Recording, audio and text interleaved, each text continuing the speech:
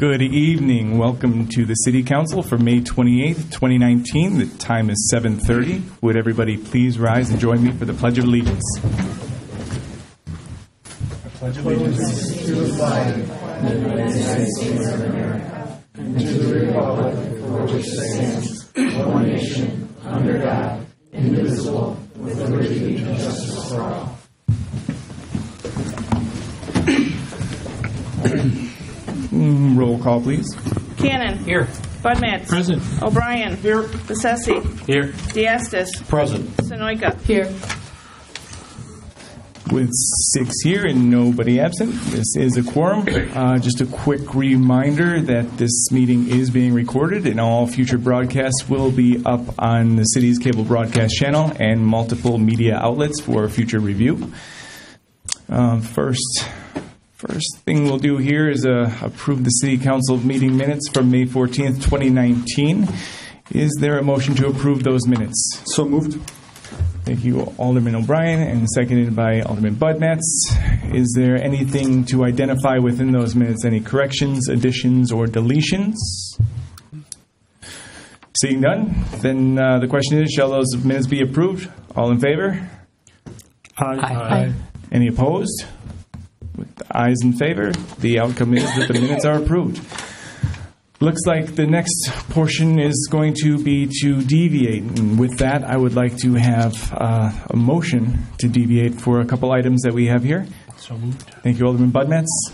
Thank you, Alderman Bessetti. Um, what I want to do is go ahead and start first by recognizing. Um, yep, there we go. We got a voice. By recognizing uh, an individual within the community. His name is Vinny Sluga. Um, he went ahead after the election, and Vinny, why don't you come on up? And he's been involved with the Rolling Meadows Library. He's been involved with the Rolling Meadows Garden Club. And he so graciously and generously asked if he could be my bodyguard and be security for me. and so I, I thought that that was a wonderful gesture, and I do appreciate your security, and I appreciate your vigilance to the community. Um, I did have to share that with the chief, and the chief said, Well, you know what? I would like that to be my job as chief to uh, secure the mayor. But with that, we still wanted to offer you this little token of our appreciation, and it's a certificate with a nice little letter. If you want to open it, inside there is a badge from the Rolling Meadows Police Department, and the badge being a, a patch for your sleeve, not a badge like an official's. Yeah. and then we also got you this certificate and commendation. And Vinny, if you want to hold this up for everybody to see, why don't we go ahead and show that? And with that, I'd like for everyone to give Vinny a round of applause for his continued excellence.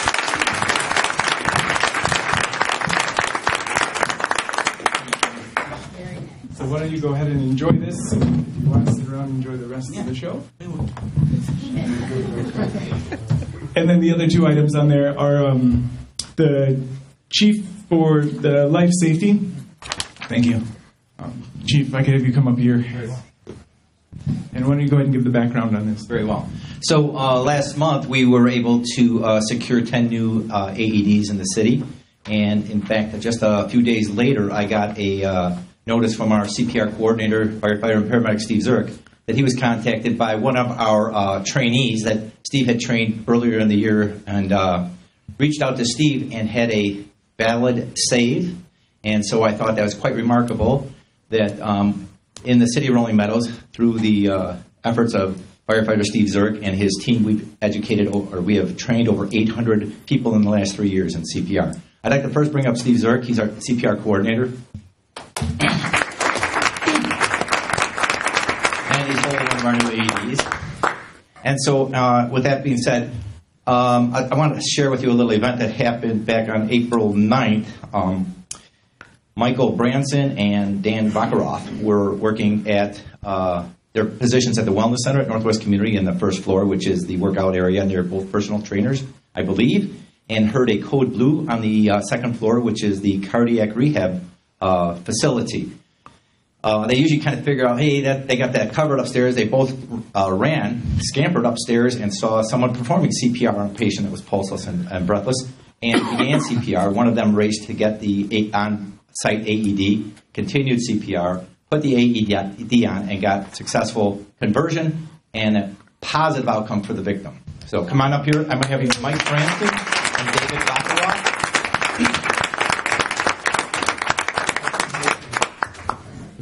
Um, I, I just want to share another.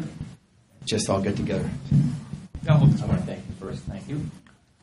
So this shows our, our success of uh, citizen education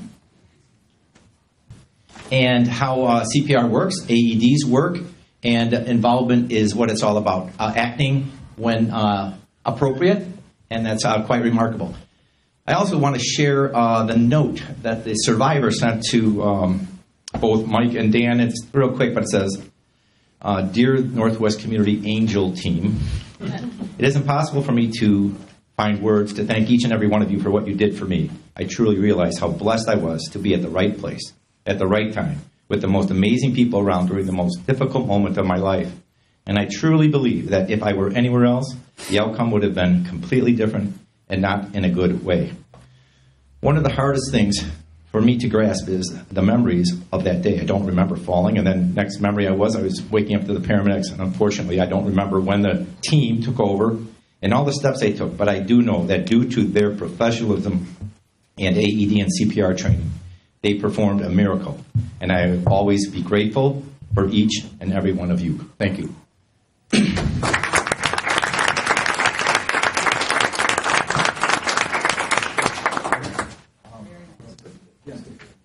If you guys want to, if you want to take a break, we can go ahead and set up some time for photo ops with your family if you like.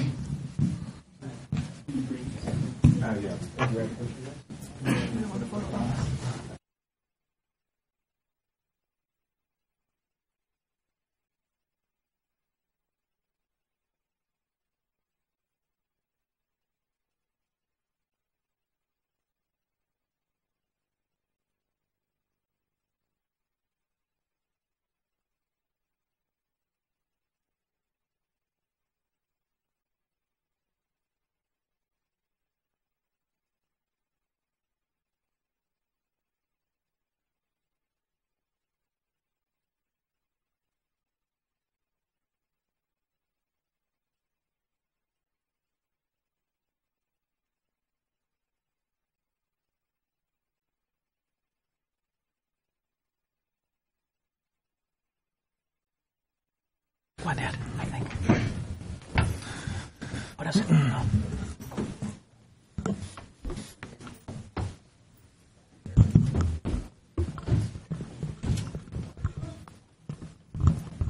Sorry. Okay. All set back up. So with that, then we'll go ahead and move on to the next point, which is mayor's report. Oh, I'm sorry. Can I get a motion to close the floor? Apologize. Thank you, Alderman Cannon. Second. Yes, sir. All right. So with that, moving back on for mayor's report, I wanted to just congratulate everybody who participated in the parade. Um, it was a phenomenal turnout, even though the weather didn't cooperate at the end. But the attendance was good, both by those participating in the parade and those who were spectating and watching the parade. There were unfortunately some ceremonious parts that got missed as a result of the weather but I do know that those portions will be included in the next year's ceremony, so so that's a that's a good thing. Um, with that, are there any ward reports? Mr. Mayor, I have a ward report. Yes. Um, a resident of the 7th Ward contact me, contacted me to express concerns that the natural gas tax does not provide tiered discounts for senior citizens. The resident also stated that the increased use in residential natural gas does not correlate with increased road usage in the same way buying additional vehicle stickers for additional cars might. The resident strongly felt that tax revenues for road repair should be funded by vehicle owners or purchases relating more directly to roads. I provided the resident with contact information for uh, Commissioner Scott Britton of Cook County in the 14th District uh, and a general phone number for him to contact uh, Cook County for utility financial assistance. I also explained that the natural gas tax is considered a more equitable tax on the whole because businesses, churches, and other entities uh, that would not have paid vehicle stickers but would use our roads are paying their fair share. And furthermore, comparisons between revenues under the natural gas tax and the vehicle sticker program are unavailable at this time, given that the natural gas tax was implemented in December of 2018. That's all. Thank you. Thank you for sharing, and thanks for elaborating to that individual some further detail. Any other ward reports?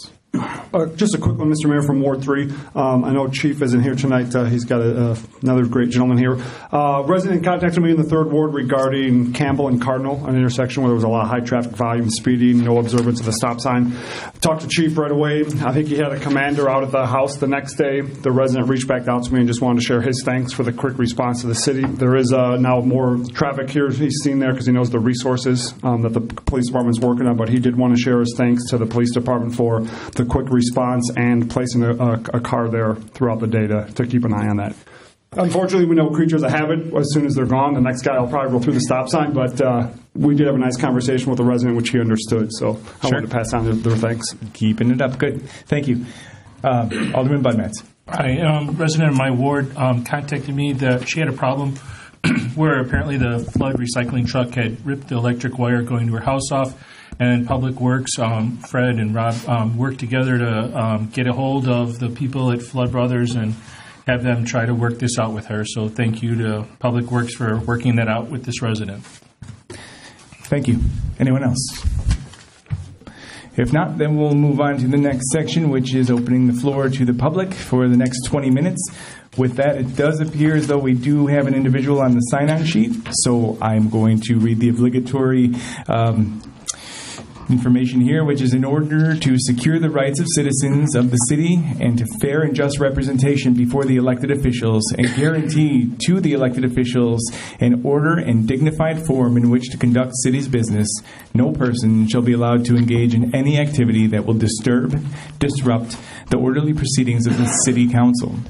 Per rules of procedure, the public is to address the city council, and the fact that no member of the city council responds does not mean that the city council or any member thereof disagrees agrees with any comment. In order to attain this objective, the following rules of conduct are hereby established. They're also listed on the sign-in sheet when you sign in. Any person who seeks to address the City Council at this time for public comments shall be permitted to speak only upon recognition of the presiding officer, and such person shall adhere to the following provisions. Each person addressing the City Council shall state their name and their address for the record. Each person shall be granted no more than five minutes of the allotted 20 minutes in order to address the City Council. Questions and/or commentary shall be limited to city business. Comments supporting or opposing a nominated person, candidacy, elective office of the city shall be out of order. Commentary shall be directed to the presiding officer unless presiding officer permits the individual to address council members or other city officers present. Discussion shall take place in a professional manner which displays mutual respect. Profanity shall not be used in any form or manner.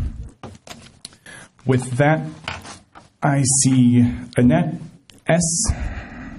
If you could come up and just state your first name and your street name, you can leave your, your address off, the numbers off for PII, personally identifiable information. It's Annette Zaffron, and I just wanted to make a comment about, uh, before we came here, we were watching Channel 6 with all the news flashes of things going on in the city, and they had about our upcoming block party, which is going to be at Rolling Meadows uh, High School parking lot. However, on the sign on TV, it just says, new location, new location, Central Road. Why don't you put on there that it's Rolling Meadows High School? There's other buildings and parking lots and facilities along Central Road. It's not very definitive of where this nice activity is going to be happening. So I think whoever designs the signs for Channel 6, our municipal channel, has to go through them and read them as if you didn't know what was happening so that it's more definitive. And secondly, we are announcing on, again, on Channel 6, our municipal channel, about our 4th of July. But we should put a shout out that we are having applications for our parade marshals, our uh, youngsters of Rolling Meadows that would like to be in the parade. Um, they can go online and get an application and all the details for that upcoming event. So I would hope that people that are watching this tonight that have children in Rolling Meadows that would like to be a parade marshal this year, that they go on and get their applications in because the deadline is fast approaching. And we would like to have our horse-drawn wagon full of Rolling Meadows uh, parade marshals. So we just have to make sure we get more information out there for our public. So if our signage could be a little bit better and more informative, more definitive, I think that would be helpful to our residents. Thank you.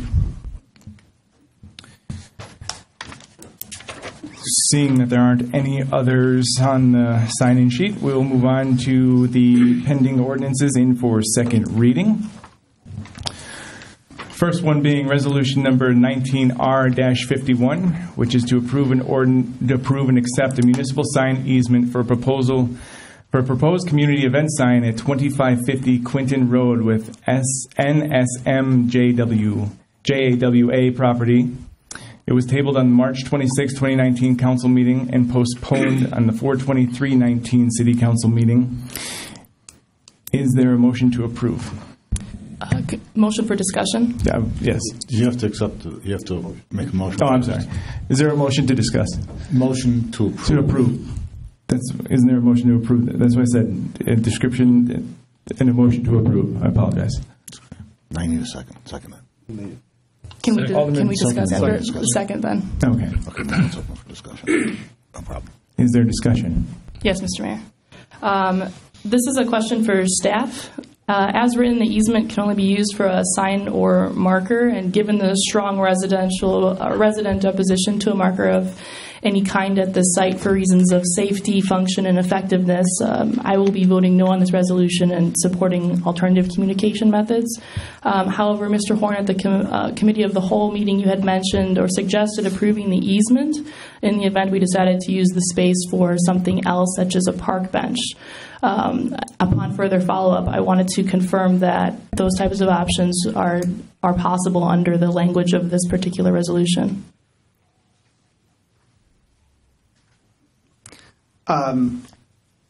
As it's currently written, they are not. You are correct. Um, Per our previous discussion, um, the language would have to be changed in regard to the specific um, explanation for the easement uh, as it's currently written. My other question then to staff is if, uh, if we were to pursue a bike path along that area, would we still need to do the required paperwork necessary for an easement in that same spot for the bike path? The bike path is actually adjacent Okay. to the easement. The easement is actually east of where the bike path is located, Okay. which we have currently submitted um, per city council direction. We actually just received uh, the Phase One report um, that is being submitted as part of that grant project. So to clarify then, no additional paperwork for easements of that property would be necessary for that project? Not related to this section of land that you're considering right now. And what options would be available to support that pro- project using this easement if we weren't to use a marker or a sign? I- don't understand the question. If you could repeat. Of what- course. Um, What, uh, what could we be, what suggestions does staff have for that particular s- section, that easement, if we were to approve the easement for something other than a marker or a sign? Again, the, the first item was a resting area, uh, since it was adjacent to the bike path, and another alternative would potentially be like a, um, like a drinking fountain, um, because it's, uh, uh, that bike path will connect a, a pretty significant um, user area uh, if it is constructed. So those were the two ideas that came to thought uh, at the committee of the whole meeting, and since then. Thank you. Sure. Any further discussion? Mr. Mayor, just one question for staff in there. Um, I know it says about making sure we have a million dollar policy, uh, like an insurance policy. That would automatically be covered by the general insurance policy of the city, correct? It's not an additional cost, it's just part of our umbrella policy. All part of our umbrella. Okay, that's why I just wanted to double check. I saw it called out saying a million dollars, but I assumed it was the normal policy. That's all. Alderman Diastis. Thank you. Mr. Mayor, uh, um, I guess the question goes to, to um, the city attorney. Do we need to amend uh, this, um, this ordinance to include the possibility of a park bench or water fountain in order to accept it? Well, the underlying document itself would have to be amended to reflect that particular type of use, which it currently does not. Okay. If, if in fact, the grantor, Jawa, um, provides us that uh, type of flexibility, the document could be revised accordingly, and it could come back for approval. I don't want to speak, I mean, it- Okay, so we can't just amend it right now to include that and pass it this week. So uh, I guess the best procedure for us to do is to um, make a motion to postpone um, or to table. And then allow staff to go back to Jawa and see if they would approve that, and then have it come back. Because right now, um, we don't have that option, so it doesn't make sense to um, to pass it without having those options as discussed at the, the committee of the whole meeting. well, we could, we could pass it, I I prefer postponing it really, um, as opposed to, to laying it on the table. I, I think the, I think protocol would dictate that we go back to Jawa and say, we, we would like to have these additional uses added to it and see what they come back with, rather than us saying, we'll accept it and going back to Jawa. I, to say protocol, I think dictates that we go back to them and they agree to do it and then come back to us. Okay. Manager Krumstok. Thank you, Mayor Gallo. Um, Alderman Diastis, if it is postponed, it would have to be postponed for um, numerous meetings because they only meet quarterly to revise their ordinance. Um, So again, that goes back into, we can get a verbal pretty quickly, but at the same point in time, we would not have a revised ordinance from Jawa um, to revise 1902 that was passed. Bill, then I think the thing to do would be lay it on the table. Okay, I'm just telling you how it is. So are we going to look for a motion to table this? Is that We could mo- make a motion, somebody could, uh, one of the aldermen could make a motion to table, it'll be seconded, it's non-debatable, Let's see where it goes. All right. So moved then. We, could we put this on the table? Seconded. Okay? With uh, that, then I guess the, the direction becomes uh, for councilmen to vote on whether or not we, we, we table this. So if we could call roll. Can we discuss still yet? Well, yeah, uh, you know what? Actually, It's not debatable. Table just undebatable. The motion to table is not debatable. Okay. I stand corrected. So with that, could you, uh, clerk please call the roll? Bessesi. Yes. Diastis. Yes. Sanoica. Yes. Cannon. Yes. Budmats. Yes. O'Brien. Yes. With six in favor and none opposed, then this does get tabled. May I ask a question? Sure. Or make a statement? Yeah, absolutely. I'd like to reassure people who are in my ward who are deathly afraid that we're trying to play some games here. We have no intention of approving a sign there. I'd like everybody to completely understand that. There's no side game going on here. I think I won't speak for staff. I think part of the reason is um, they've worked a lot of hours and time to try to get the easement. And I think they were just looking at an easy way to keep the easement for future possibilities. A sign will not be going on there. Thank you. Okay, well, moving on from that one, we have ordinance number 19-32, and that's to authorize the disposal of surplus city property, vehicles, and equipment for second reading. Is there a motion to adopt? So moved. Is there a second? Second. Mm, thank you, Alderman Sanoica, and seconded by Alderman O'Brien. Is there any discussion on this one? Seeing none, will the clerk please call the roll? Diastis. Yes. Sanoica. Yes. Cannon. Yes. Budmats. Yes. O'Brien. Yes. Bessesi. Yes. With six in favor and none opposed, this does move forward. Next up are the consent ordinances, and typically, seeing as how there's only one, and we would we would make a, a request here to go through them, um, you know, in a single motion without debate. Does anybody have anything to discuss with this particular point? Do I have a motion to approve? So moved, Mr. Mayor. Okay. Is there anything to discuss on this particular topic? Second. Do I, I? Sorry, I thought I saw a second over here. Was there a second? Bessesi. Yeah. I will. Thank you, Alderman Bessetti. No one's quick to second anything. Great. Um, so with that, would the clerk please call the roll? Sanoica. Yes. Cannon. Yes. Budmats. Yes. O'Brien. Yes. Bessesi. Yes. Diastis. Yes. Six in favor and opposed. This moves on to the second reading. Moving on to new business, we have the motion to approve the payment of bills on warrants. Is there a motion to approve the bills on warrant? So moved. Thank you, Alderman O'Brien. Thank you, Alderman Budmats. Is there any discussion on the item? Seeing none, would the clerk please call the roll? Cannon. Yes.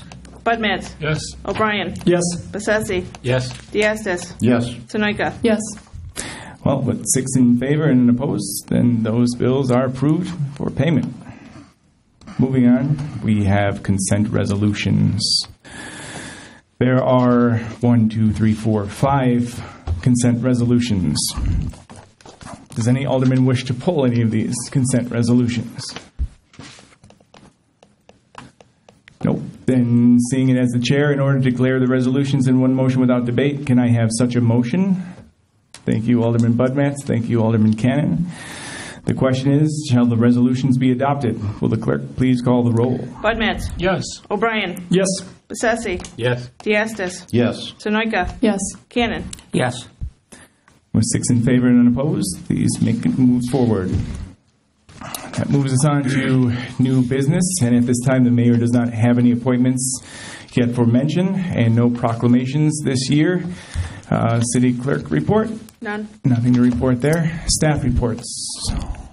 Alderman Crum, or Manager Krumstok, excuse me. Uh, Thank you, Mayor Gallo and uh, City Council. I do have some add-ons um, from what's in the packet, but I do want to thank everybody who donate- donated on the 17th annual Dunkin' Donuts Cup on a Rooftop promotion that took place on Friday, May 17th at the Dunkin' Donuts located at 3350 Kirchhoff Road. $4,600 was raised, and um, we actually did a little bit better than our neighbors. uh, we do greatly appreciate everybody um, who participates in that. It does go to the Torch Run for Special Olympics. Obviously, if you missed the Saturday, May 25th bike ride sponsored by the Environmental Committee, the next one is scheduled for Saturday, June 22nd, starting at 9 a.m. at the Community Church at 2720 Kirchhoff Road. I think that there were nine individuals who participated this time. Um, we also want to mention that if you missed the Saturday, May 25th Farmers and Food Truck event, the next one is scheduled for Saturday, June 22nd from 10 a.m. to 2 p.m. And again, we are at the Community Church at 2720 Kirchhoff Road. This Friday, Meadows Cruise Nights are back thanks to Meadows Christian Fellowship located at 2401 Kirchhoff Road.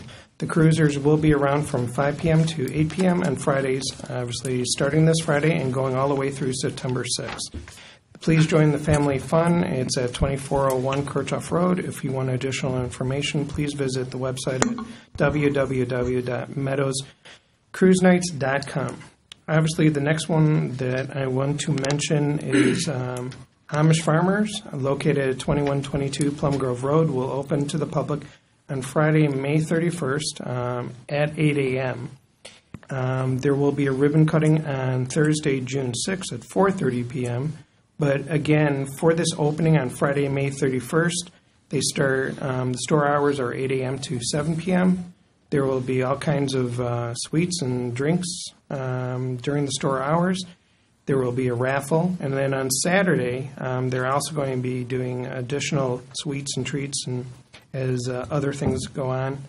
Um, there will also be a toy giveaway for youngsters between 7 p.m. and, I mean, excuse me, 3 p.m. and 4 p.m.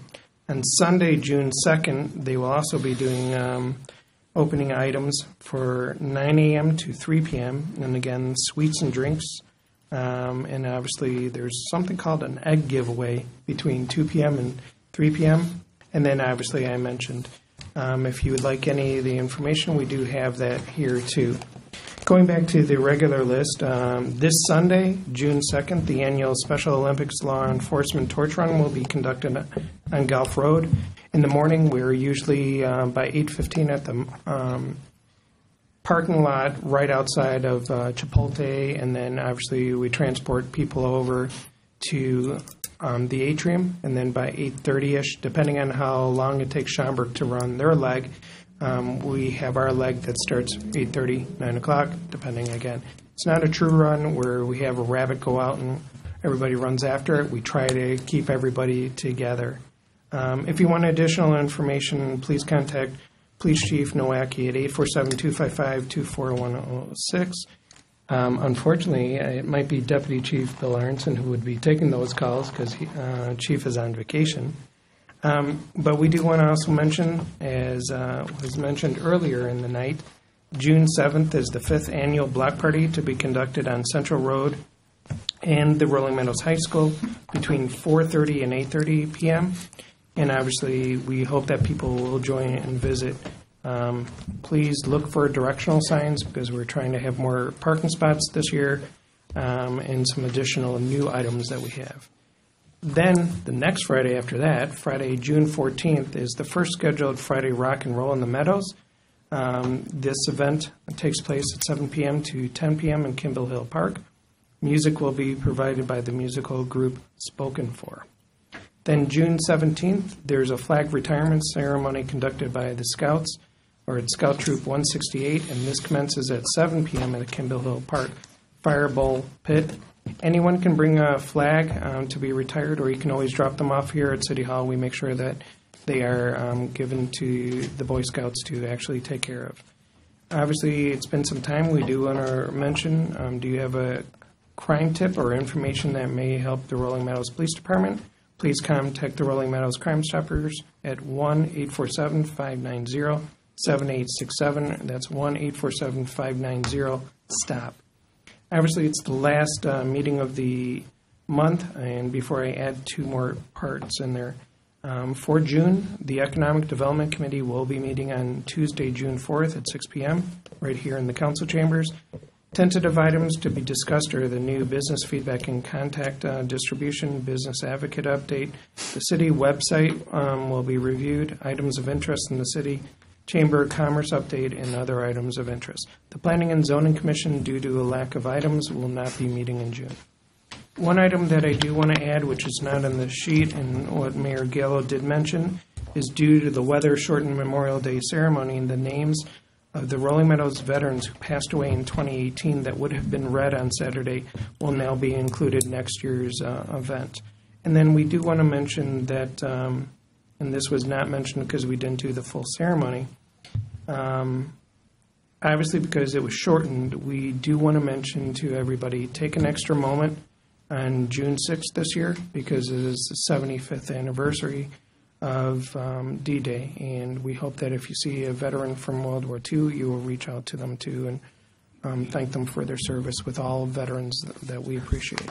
So with that, those are items of uh, interest for this meeting. Thank you. Any items or matters not on the agenda that wish to be discussed? Alderman Cannon. Thank you, Mr. Mayor. Uh, I just want to reiter- reiterate for anybody in my ward who wasn't paying attention to the agenda, uh, item H tonight was um, to remove the sign on Quentin Road. This caused a lot of controversy. The sign is officially dead now, so there's no ambiguity about that. The sign will not be going in there. Uh, the other thing I just wanted to mention to people in my ward, there's going to be five streets in my ward that will be reconstructed this year.